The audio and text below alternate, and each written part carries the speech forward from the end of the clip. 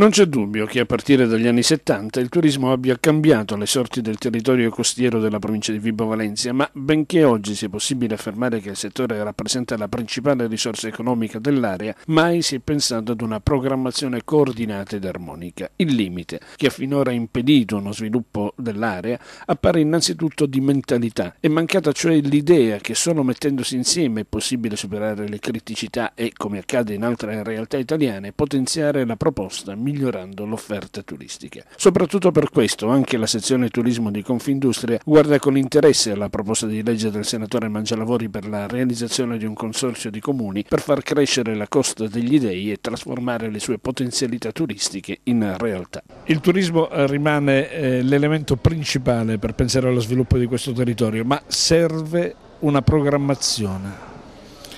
La programmazione serve a tutte le eh, imprese e certamente il turismo non può esimersi da, da non avere una pianificazione, una programmazione del tempo.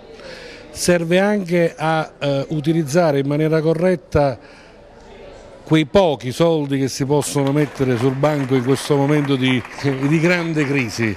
Quindi la programmazione e la pianificazione è una cosa al quale noi tutti, imprenditori e come rappresentante di Confindustria mi sento di assolutamente sottoscriverlo, c'è necessità di pianificare, decidere cosa si vuole fare.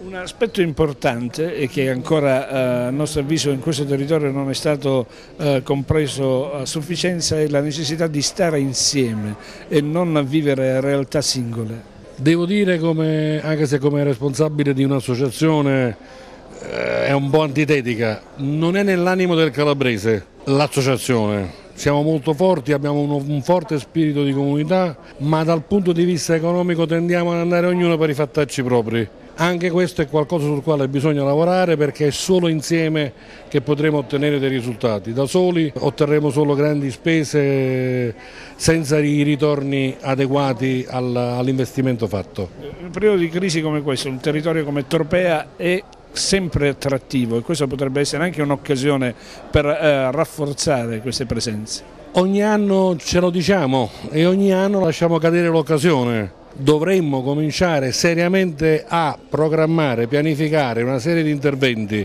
sui trasporti, sul decoro urbano, sulla segnaletica, sulla qualità delle strutture, sull'assistenza eh, sul posto su tutta una serie di servizi e di infrastrutture che sono a supporto sia del turista, ma io amo ripetere anche dei residenti del territorio. Una panchina su una passeggiata non servirà solo un ospite del territorio, servirà anche un residente del territorio e purtroppo tutte queste cose a volte per stupidità mancano.